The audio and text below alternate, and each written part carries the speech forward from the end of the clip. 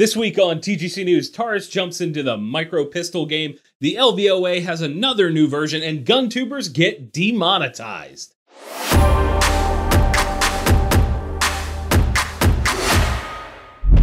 Woox makes high performance outdoor gear with class. Whether you're in need of a chassis like the Furiosa, which merges beauty and functionality, or maybe you want a blade dripping with style and made from Rock 62 steel, or maybe you need to do some serious chopping with one of their axes. Woox offers some of the best crafted outdoor gear in the world. And now you can use our promo code TGC15 to get 15% off your order from today until May 31st over at WooxStore.com. That's TGC15 at WooxStore.com. Welcome back to another episode of the Gun Collective News, the only gun news show that covers things you actually care about. My name is Jon Patton. Before we get cracking, the comment period is now open for the incomplete firearm proposed rule by ATF and you guys need to hammer them with good, effective comments. Go check out my video on that topic for more info and to get to the comment section. Now, how about some news? First up this week, another challenger has entered the micro compact, decent capacity space, and it's the cheapest one yet. For reference, this market sector has guns like the P365, the Shield Plus from Smith & Wesson, the Ruger Max 9, and now Taurus has an offering. It's called the GX4, and on first glance, it's got a lot going for it. Just like the others in this sector, it's a striker fired 9mm. The barrel length comes in at 3.06 inches, otherwise known as 3 inches. Overall, size wise, it's very similar to the other guys, about 6 inches in overall length, about 4.5 inches tall. It's even about the same width. They all vary just slightly. The magazine capacity on this one comes in at 11 rounds without any extensions. The gun is shipping with two of those 11 round mags, and they have flat base pads on them. 13 round mags can be bought, but they don't ship with the gun for some odd reason. I think the smart thing is one flat, one extended, but whatever, what do I know? Beyond that, there is a flat face trigger, semi aggressive texture around the grip, and it comes with an interchangeable backstrap. It also has an internal chassis system that houses the fire control group. Taurus says this gives them a 25% reduction in parts from the G3C, which is new like last year. That's cool. That chassis idea seems to be increasingly popular these days. We've seen in a lot of iterations of that. The MSRP on this gun lands at $392.42, which is the cheapest of this style of gun yet. In my opinion, this is a super smart offering. No, it doesn't have the optic cut like we all want, and flat base pads on the mags is lame, but at the same time, I have one of these in hand. It's literally sitting right there. And it's really not a cheap feeling gun. It's surprising. This thing has the best trigger I've ever felt on any Taurus. And if that's all we get out of it, it's probably a win. I'm curious to know what you guys are thinking on this one. I posted a video on YouTube and Instagram, a little teaser, and there was a lot of comments, both positive and negative. Has your opinion on Taurus changed like mine has over the last couple years? Is this one that you would consider? Sound off, and let's talk about it in the comments. We have a few more new guns to cover this week. Beretta is showing off a new over under, and it's really light. In fact, They've named it the Ultraleggero or Ultralight.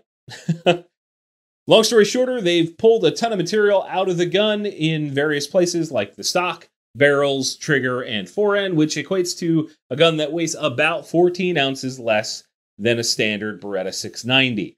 When you are carrying a gun around in a field all day, hunting birds, that can be a big deal. It's almost a pound of weight pulled out.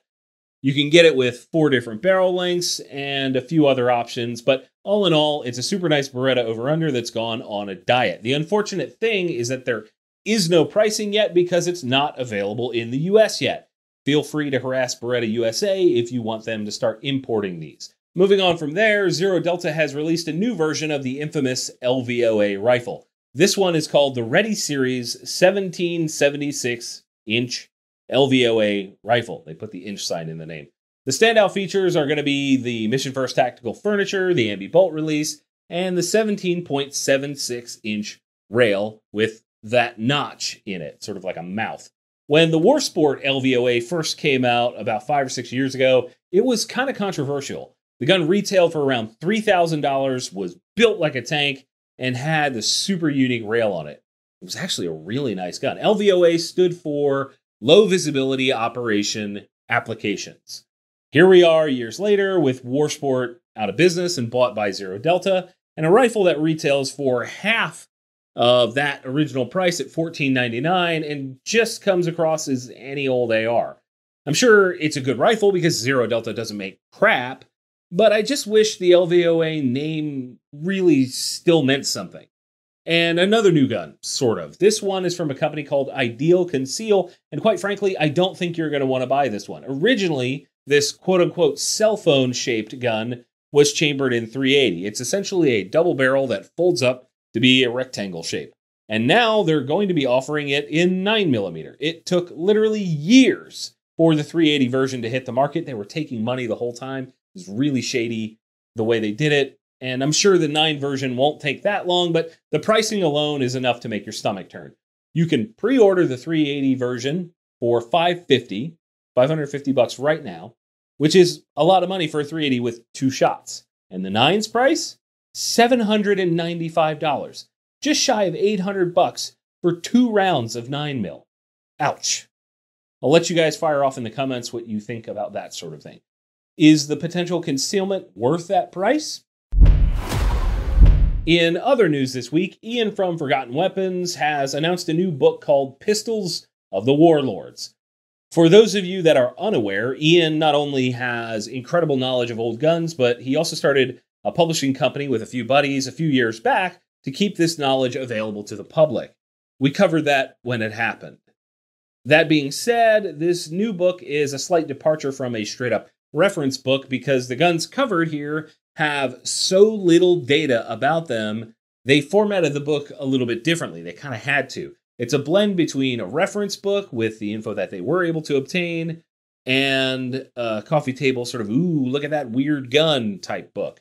James Rupley, who does all the photography for the Headstamp publishing books, as well as the Vickers Guide books, tackled this one. And quite honestly, his work is gorgeous. That That's worth it to me alone. They've launched the Kickstarter like they always do for their books, and this one has a goal of $100,000 off the bat. They've well surpassed that, and as of writing this episode, it's already approaching $775,000 pledged.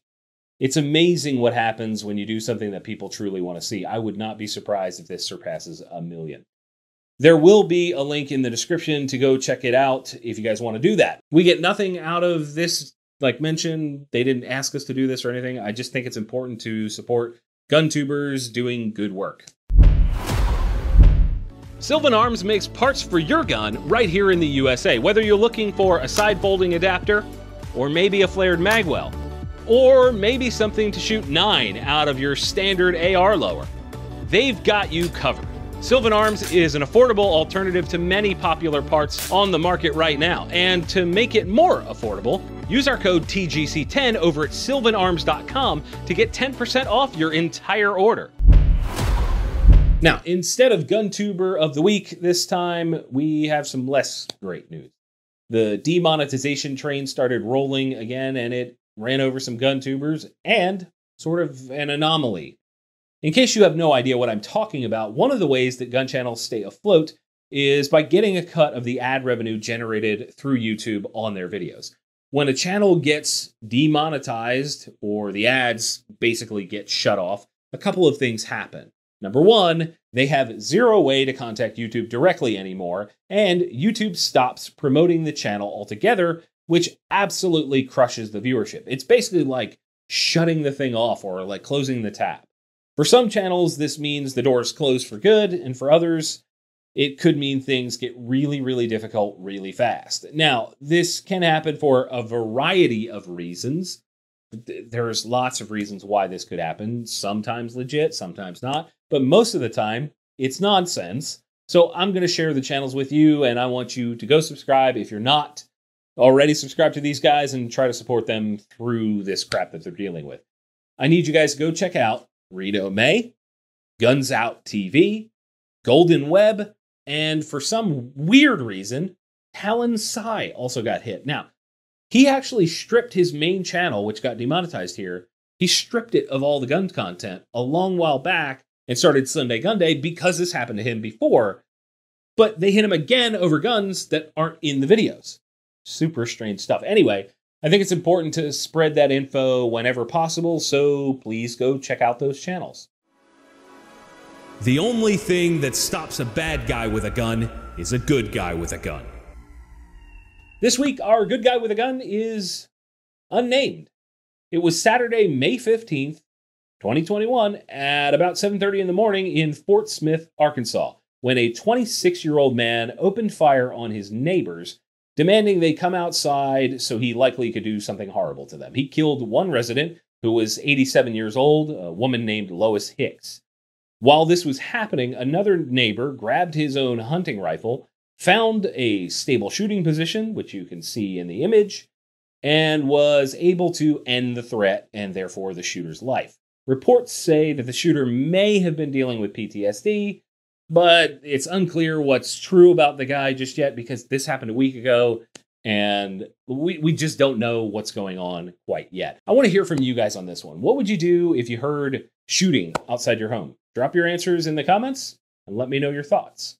If you guys enjoyed this show and you want to see an ad free version, check us out on floatplane.com. Go subscribe over there, that'd be rad. And after you click the like button on this video, make sure you do that. Be sure to hit the secret affiliate link in the description, that would be a massive help for us. And of course, don't forget to get subscribed for more gun news every single week. And as always, thank you all for watching. We will see you soon. Yep, it's over, but don't worry, you can click on the video up top to watch last week's show, and the one below that is the one that YouTube thinks you'll enjoy. Check them out and let me know what you think.